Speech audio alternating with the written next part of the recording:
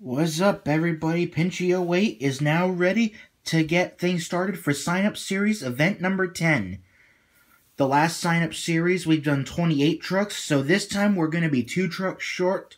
So that means this time we're going to have only 22 trucks. So we're also going to be seeing different trucks in this one. And plus, I believe I have two trucks that are actually debuting. And I'm sure many other you may have seen in my collection.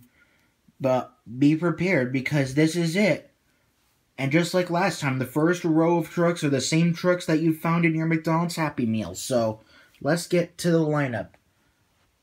We have Gravedigger, Max D, El Toro Loco, Blue Thunder, Dragon, NEA Police, Zombie, Monster Mutt, Mohawk Warrior, and say hello to Brutus, Spike, Megabyte, Wrecking Crew, Avenger. Of course, you've seen Avenger and Wrecking Crew.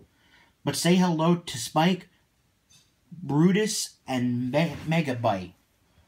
And this time I'm bringing back Gravedigger the Legend and Son-uva Digger. And plus, we got two Medusas going at it for the first time. One pink, and here's the debut of the brand new white one from this year. And plus, we have Doomsday here. We've got Stone Crusher, Hooked. This is another first time ever in my sign up series that we're going to be seeing Hooked. Once again, we got Monster Energy and Lucas Oil Crusader. But the main debuting truck in this sign up series, well, he just came in the mail today. Let's give a big warm welcome and debut to Big Kahuna, all the way from Hawaii. Surf's up, Big Kahuna. Let's hope you can hang 10 throughout the sign up series. And then last but not least, our two favorites, Raisin King and Ice Cream Man.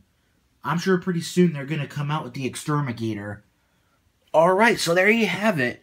This time we'll be racing 26 trucks. That's right. And for the first time, we got the whole Team Scream bracket with Avenger, Wrecking Crew, Megabyte, Spike, and Brutus. And plus, we're to have the debut of the White Medusa and Big Kahuna.